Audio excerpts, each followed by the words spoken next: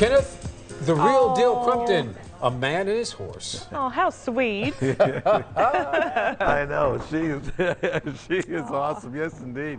Uh, lots of sweet horses and sweet animals out here. Um, you remember the song "Happy Trails to You"? Well, we actually happy trailed ourselves all the way to Ravenna with Alona. Good morning. Good morning. Well, tell us about your beautiful, beautiful spot here. I'm so happy we started with horses because you It's know. your I- thing. Yes, I love It's your horses. thing. But Well- these horses are very happy to be here, aren't they? They most certainly are. Mhm. Let's talk about the mission of what you guys do out here. Okay, our original mission, which began 20 years ago, this is our 20th anniversary. Happy anniversary, by Thank the way. You. Yes. Thank you. Uh, is to rescue abused, abandoned, and neglected farm animals and horses. Mm-hmm. These are often prosecuted cruelty cases that come in through law enforcement. Uh, Okay. licensed humane officer, uh, sheriff department. Uh, we got a call once from Highway Patrol, some chickens up on 76 that fell off a truck. Oh no way! I said it was their worst day and the best day ever because you guys took them in. we took them in. And uh, so that's that part of the mission. But then we also have a program called the Amish Horse Retirement Program Mm-hmm. that began about 2002 okay.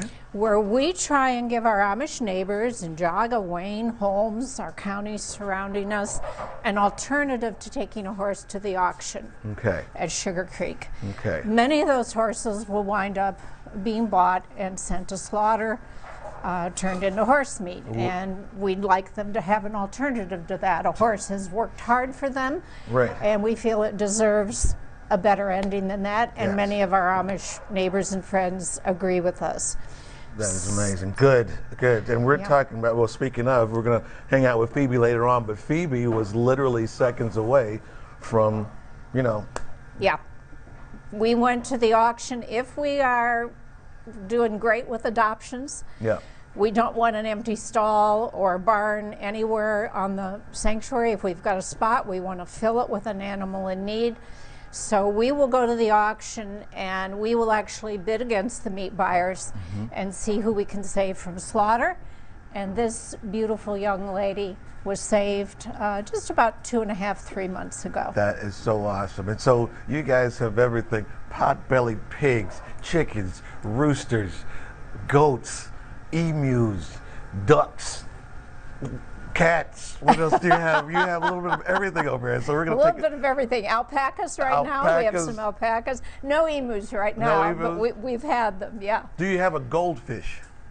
Oh, We don't. no goldfish. Do you want to bring me one? You have to rescue a goldfish.